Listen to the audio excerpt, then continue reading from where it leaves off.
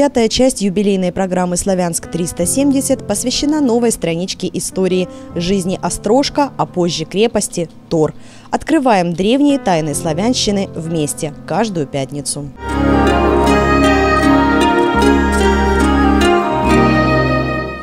Следующим этапом истории развития нашего края является позднее Средневековье. Это время заселения нашей территории. О местности, на которой расположен город Славянск, упоминается в письменных источниках конца XVI века. В росписях донецких сторож оговаривается о том, что на Торских озерах находилась стоялая голова. Что это такое стоялая голова? Это определенный пункт пограничный, который контролировал станицы и сторожи. В свою очередь они контролировали эту территорию и сообщали о приближении врага, крымских татар. 1571 год. Это вот первое упоминание о нашей территории. Примерно к этому же времени относится и начало солеварения на территории нашего города. В конце 16 в начале 17 века письменный источник первый датирован 1619 годом, который говорит о том, что с ближайших городов окраин приезжали соливары для выварки соли. Солеварение было сезонным, то есть приезжали только в летнее время, чтобы меньше тратить э, дров для выварки. Привозили с собой котлы, сковородки, устраивались табором. Для защиты использовали вазы от крымских татар. Э, примерно в течение двух недель вываривали соль, а затем уезжали в свои города и там ее продавали. Занятие солеварением было очень опасным, потому что крымские татары неоднократно нападали на соливаров. Они, в свою очередь, обращались к московскому правительству с просьбой защитить их от набегов врага. И в 1645 году был построен острожек Небольшая крепость, которой попеременно нести службу 20 чугуевских казаков. Просуществовала она недолго и была в скорости сожжена. Э, просьбы московскому правительству продолжали э, приходить. И вот в 1676 году э, был построен город, город-крепость Тор. Почему Тор? Потому что располагался на Торских соляных озерах.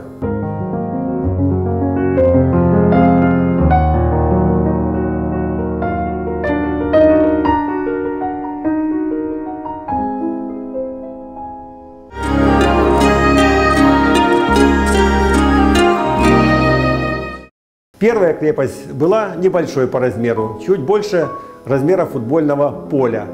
Э, защищали крепость казаки, как русские, так и украинцы. Военный гарнизон насчитывал 201 человек. По углам стояли так называемые наугольные башни и проезжие. Чистокол – это стена деревянная с заостренными концами. Высота чистокола достигала 4 метров. Башни сторожевые от 8 до 12 метров. Неоднократно крымские татары сжигали крепость город Тор, но он восстанавливался. Основным занятием населением, как и прежде, было солеварение, рыбная ловля и охота на пушного зверя.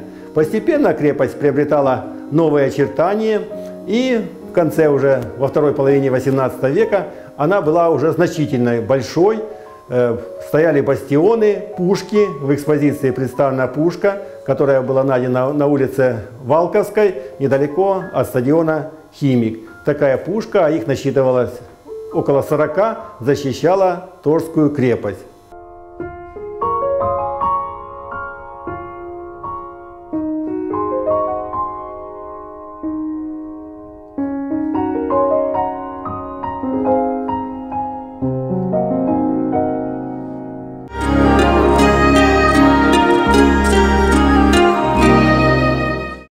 2005, 2006, 2007 годах Славянский краеведческий музей совместно с Донецким областным краеведческим музеем проводили археологические исследования на территории так называемого Красного городка. Это район славянского курорта. И вот за время раскопок была раскопана площадь 716 квадратных метров, обнаружены жилые постройки, это землянки, полуземлянки и наземные постройки вот типа э, украинских хат. 13 комплексов, в том числе два представляют большой интерес. Это закрытые комплексы, которые связаны с приготовлением пищи. Э, помещение номер 9 э, была полуземлянка, находилась на глубине метр семьдесят от современной поверхности, так называемой дневной поверхности. Эта постройка представляла себя кухню-столовую. Небольшая по размеру, 4 на 4 метра. В нижней части сохранились срубы. В экспозиции один из стволов этого сруба, а сруб был э, дубовый, сохранился. Чем интересна эта постройка? Тем, что мы обнаружили стол, и на столе лежали предметы, которыми пользовались жители э, города Тора в тот период. Это где-то середина 18 века. Деревянные ложки сохранились, посуда, кувшины, э, горшки кухонные, деревянная посуда, к сожалению, сохранилась не очень хорошо, люльки, деньги, игральные фишки – вот когда мы, так сказать, э, все пересмотрели, то определили, что э, где-то обедала за этим столом, стол был большой, на всю стену, вот более 4 метров, значит, э, сидело где-то 15-16 человек по количеству ложек. Они покушали, поскольку посуда была перевернутая, то есть уже помыта, значит, лежала на столе и рядом со столом. Казаки играли на деньги. Э, вот, используя фишки игральные, э, несколько было обнаружено, и деньги. Они оказались под столом. Именно во время игры вот, на деньги э, произошел пожар, то ли это военный набег был, то ли бытовой, поскольку бытовые пожары случались очень часто. На территории крепости находились не только жилые постройки, но и соливарни. Вот жилище загорелось, казаки вскочили из-за стола. Естественно, что, скорее всего, что деньги и фишки находились на коленях у них каких-то, ну, денег-то немного было, потому что получали жалование они небольшое. И вот выскочили из этого помещения. Оно сгорело, и поскольку пламя э, способствовало тому, что не только сгорели э, деревянные сооружения, но э, земля значит, прокалилась и стала такой сыпучей. И песок прямо засыпал этот комплекс. Люди не стали его расчищать. И вот это сохранилось Э, уникальная постройка для нас очень интересна, потому что интересно еще не только тем, что вот я сказал ложечки, там солоночка стояла для нас солеварение, это интересно, что соль какая была солоночка, но и инжир мы нашли. Это говорит о том, что либо торговыми путями из Крыма он попал, вот, либо захватили какой-то обоз татарский, э, жители Торской крепости, и вот присутствовал э, на столе. А что за игра была?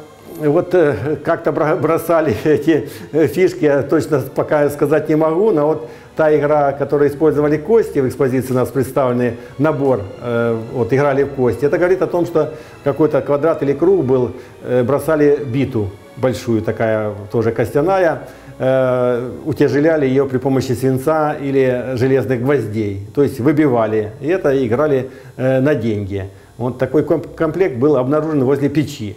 Хочу заметить, что вот все постройки в основном они сгорели. Неоднократные пожары, вот это подтверждает э, уже, так сказать, письменные источники, что город неоднократно горел. То ли в результате набегов, то ли в результате бытовых пожаров. 221 вы сказали, а потом вот уже когда жалование пошло, когда уже... Вот, население уже составляло там где-то военный горизонт до 500-600 человек. То есть он увеличился, и уже потом, когда крепость утратила свое значение, это уже управление Екатерины II, произошло переименование. Вот, 1784 год тоже стал называться Славянском, вот, э, как записано в документах, в честь победы славянских народов над турками. Э, произошло переименование. И в этот же период крепость утратила свое назначение. Это 1723 год, и она была изъята из ведомства артиллерии и фортификации. То есть пушки сняли, гарнизоны тоже ушли уже туда на юг, но крепость не разбирали. Постепенно разобрали деревянные сооружения, поскольку их использовали для солеварения. А как шла дорога, по которой возили соль?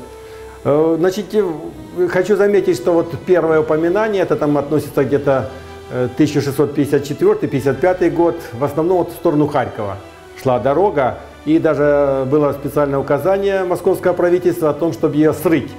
Почему срыть? Потому что дорога была, так сказать, накатана, и крымские татары по этой дороге шли уже э, грабить другие города. Вот. А она, дорога была э, в сторону э, Изюма, ну тогда еще Изюма не было, ну вот в том направлении. И затем уже рассветлялась. Белгород, Курск и в другие города вела одна и та же дорога. А позже уже второй, э, второй путь уже на юг, это в сторону Бахмута, современного Артемовска. Вот дорога проходила именно через нашу территорию. И через нашу территорию проходила посольская дорога. Это вот в районе э, села Богородичного. Вот там переплывали э, Северский Донец и уже осуществляли дипломатические отношения с нагайскими татарами, крымскими татарами. Вот таким образом.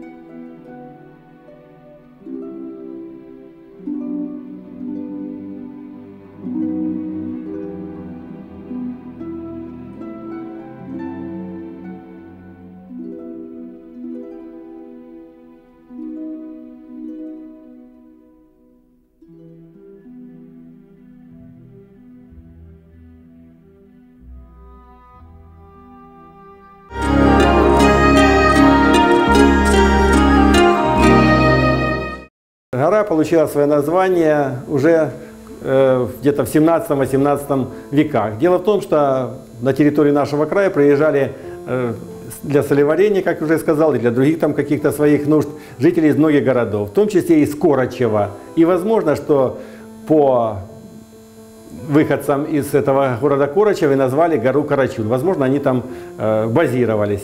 Так же, как и по реке Калантаевка. Приезжали соливары из города Калантаева.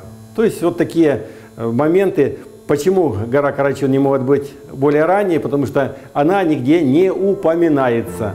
Есть описание нашей местности, где указывают там столбовые э, столбы вдоль дорог стояли, вот урочища какие-то, но гора Карачун не упоминается. Хотя она приметная, вот как гора Карачун, острая могила, тоже возвышенность вот эти моменты то есть, не стыкуются с, э, с разбойником и золотыми кладами на этой территории. То есть гора Карачун имеет природное свое Совершенно верно. Вот да, говорили о том, что хода есть. Мы в свое время, лет 20 тому назад, с донецкими археологами исследовали полностью эту гору и обнаружили интересные моменты, которые связаны с тем, что почва проседала вот на этом участке, там мыловые отложения, и как бы вот хода как будто человек э, изготовил вот эти какие-то сооружения пещерные, но это все природное явление. То есть рукотворных там пещер э, нет.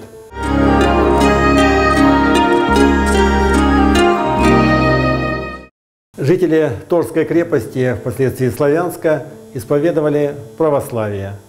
И по канонам, конечно, каждый верующий носил крестики. Во время раскопок Торской крепости были обнаружены несколько крестиков и дукачей, но уже более позднего времени.